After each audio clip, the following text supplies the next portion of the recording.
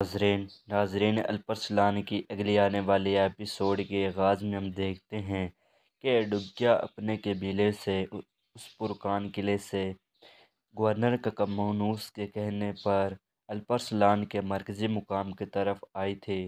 इसके बाद जब वो मरकज़ी मुकाम में दाखिल होती है तो अल्परसलान के पास आकर कहती है कि, अल्परसलान। तो इसके बाद अल्परसलान कह रहा था कि ज़मानत कहाँ है? तो इसके बाद अडुकिया कह रही थी कि मैं यहाँ आ गई हूँ तो आपको किसी और ज़मानत की ज़रूरत नहीं है। और इसके बाद अडुकिया कह रही थी कि आप मुझ पर यकीन कर सकते हैं। आप, मैं मैं वो कीमती ज़मानत हूँ जिसे आप तलाश कर रहे थे, अल्परसलान। तो इसके बाद अल्परसलान कहता है कि ठीक है। तो इसके बाद अल्परसलान गोकतुक साहब से कह रहे थे गोकतुक साहब कैडविकिया की मेहमान की तरह, मेहमान नवाजी की जाए और इसके रहने सहने का बंदोबस्त किया जाए। और इसके बाद हमें दिखाया जाता है कि अडुकिया कमरे के अंदर चली जाती है। तो इसके बाद बहादुर साहब अल्परसलान से कह रहे थे कि अल्परसलान उन्होंने आदमी की बजाय औरत को क्यों भेजा? तो इसके बाद अल्परसलान अपने सिपाहियों के साथ उस पुरकान किले की तरफ़ रवाना हो जाते हैं। तो इसके बाद हमें उस पुरकान किले का मंज़र दिखाया जाता है, जहाँ पर गवर्नर के कमानूस रोमन त्योजन और बाकी सारे सिपाही अल्परसलान और उनके सिपाहियों का इंतज़ार कर रहे थे। तो इसी दौरान हम देखते हैं कि उस पुरकान किले के दरवाज़े खुलते हैं। अल्परसलान अपने सिपाहियों के साथ उस पुरकान किले में दाखिल हो जाता है। तो इसके बाद जब उस पुरकान किले के अंदर दाखिल होते हैं तो अल्परसलान हसन अताबे से कह रहा था कि हसन अताबे, एक न एक दिन इस किले के दरवाज़े के पीछे इंतज़ार करने वाले हमारे सिपाही होंगे हसन अताबे। और अल्परसलान मज़ीद कहता है कि ये किला और इस किले के ऊपर झंडे हमारे होंगे। तो इसके बाद हसन अताबे अल्परसलान से कह रहा था कि ऐसा ही होगा और वो दिन बहुत जल्द आएगा। तो इसके बाद हमें दिखाया जाता है कि अल्परसलान अपने सिपाहियों के साथ गवर्नर के कमानूस के सामने पहुँच जाता है और अपने घोड़े से उतरकर गवर्नर के कमानूस के पास चला जाता है। तो इसके बाद गवर्नर के कमानूस अल्परसलान से कह रहा था कि अल्परसलान इस बार आप किसी सिपाही के बेस में नहीं और ना ही बाजन तीनी सिपाही के बेस में, बल्कि आप इस बार उस पुरकान किले में हमारे मेहमान बन के आए हैं।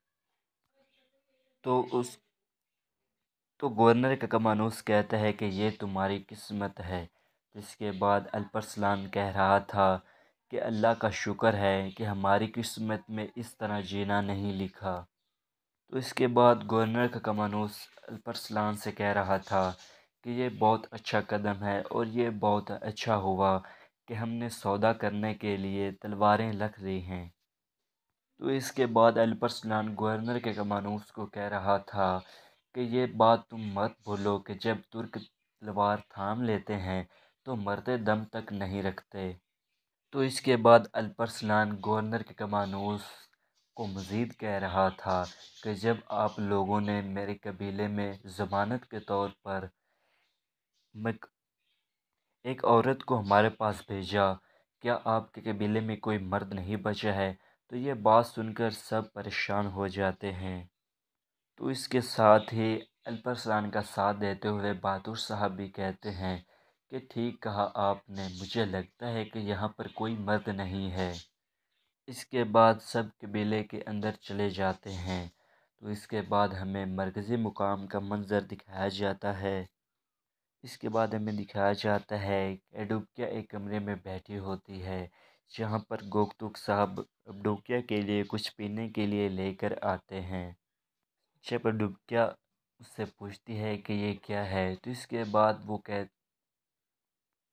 और जब वो मशरूब लेकर आता है तो अडुकिया पूछ रही कि ये क्या है? तो इसके बाद गोकतुक साहब कह रहे थे कि ये हमारे कबीले का मशहूर मशरूब है। तो इसके बाद क्या उसे कह रहे थे कि मैं यहाँ पर कुछ खाने पीने के लिए नहीं आई, अपने सरदार को जाकर बता दो।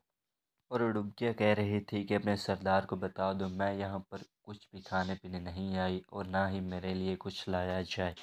तो इसके बाद गोकतुक कह रहा था कि अब मैं आपके लिए कुछ खाने पीने के लिए लेकर आया हूँ, लेकिन आप मुझे नौकर मत समझिए। तो बहादुर साहब कहते हैं कि आप मत भूलिए कि आप एक सरदार से बात कर रही हैं। तो इसके बाद डुबकिया कह रही थी तो आप भी सरदार हैं? हाँ। इसके बाद डुबकिया कह रही थी कि मैं नहीं जानती थी कि यहाँ पर अल्परसलान के अलावा कोई और भी सरदार है।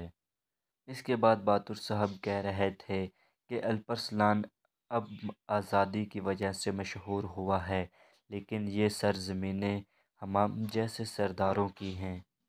अल्परसलान उस वक्त दूध पीता बच्चा था जब हम घोड़ों पर सवार थे। तो इसके बाद डुबकिया कह रही थी कि अच्छा ऐसा है तो मुझे माफ़ कर दें। इसके बाद डुबकिया कह रही थी कि, आपका नाम क्या है?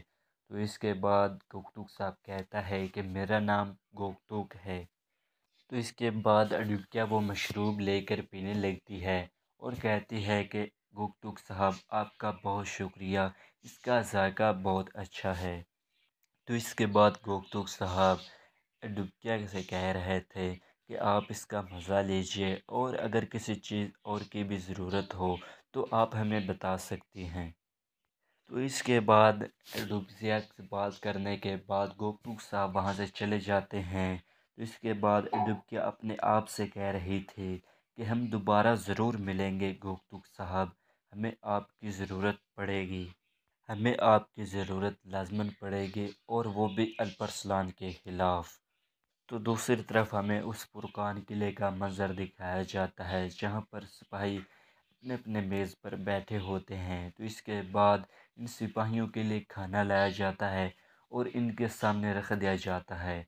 और दूसरी तरफ़ वो जहर वाला खाना अल्परसलान के सामने रख दिया जाता है। इसके बाद गवर्नर का कमानूस अल्परसलान से कह रहा था कि हमने तीतर आपके लिए बनाए हैं, क्योंकि आप इसका शिकार करते हैं और आपको पसंद होंगे। तो इसके बाद अल्परसलान गवर्नर के कमानूस को कह रहा था कि हम बहुत सी ऐसी चीज़ों का भी शिकार करते हैं, जिसे हम खा नहीं सकते। और इसके बाद हमें दिखाया जाता है कि सब लोग अपना अपना खाना शुरू कर देते हैं। लेकिन अल्परसलान और उनके सिपाही खाना नहीं खाते। तो इसके बाद गवर्नर के कमानूस कह रहा था कि आप खाना क्यों नहीं शुरू कर रहे? तो इसके बाद अल्परसलान कहता है कि हम यहाँ पर खाना खाने के लिए नहीं आए हैं। तो इसके बाद गवर्नर का कमानूस अल्परसलान से कह रहा था कि अच्छा ठीक है, लेकिन मेरे बाबा कहा करते थे कि जो फ़ैसले खाली पेट किए जाते हैं या तो वो नामुकम्मल रहते हैं या उनका कोई मुस्तबिल नहीं होता। तो इसके बाद अल्परसलान और उनके सिपाही खाना खाना शुरू कर देते हैं। ये देख कर के अल्परसलान और उनके सिपाही खाना खा रहे हैं तो गवर्नर का कमानूस काफ़ी खुश हो जाता है, क्योंकि उसने खाने में जहर मिलाया था और उसे लग रहा था कि अल्परसलान अब मर ही जाएगा। तो दूसरी तरफ़ हमें दिखाया जाता है कि अल्परसलान के सिपाही एक कमरे में बैठे होते हैं और सिपाही इनके पास आता है और कहता है कि आप इसके अलावा भी कुछ खाना पसंद करेंगे। तो इसके बाद अल्परसलान के सिपाही ऊपर से उठकर नीचे बैठ जाते हैं और अल्परसलान के सिपाही नीचे बैठकर खाना खाना शुरू कर देते हैं। तो दूसरी तरफ़ हमें सलजोकी महल का मंज़र दिखाया जाता है जहाँ पर सादत कमांडर को ले आया जाता है ताकि उसे फांसी दे दी जाए। और इसके बाद सादत कमांडर को बीच में लाया जाता है। जावरी साहब और अमीर बोजान भी वहाँ पर मौजूद होते हैं।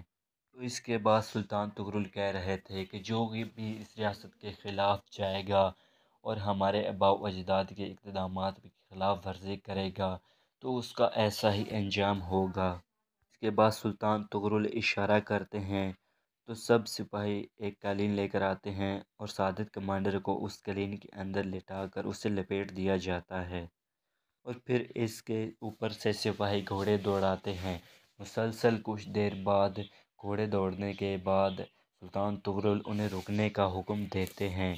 तो इसी के साथ ये एपिसोड यहीं पर ख़त्म हो जाती है। अगर आपको ये वीडियो अच्छी लगी हो तो हमारे चैनल को लाइक और सब्सक्राइब करना ना भूलिएगा। बहुत बहुत शुक्रिया।